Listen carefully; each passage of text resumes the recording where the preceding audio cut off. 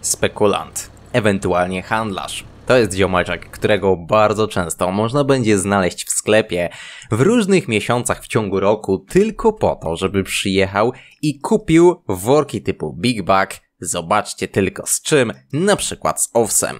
Kupi sobie 8000 litrów za 10400, napełni swoją przyczepkę i będzie liczył, że cena owsa w skupie będzie wysoka.